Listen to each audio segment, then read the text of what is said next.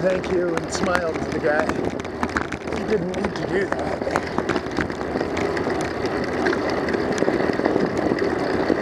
Especially since I was waiting for his ass to go.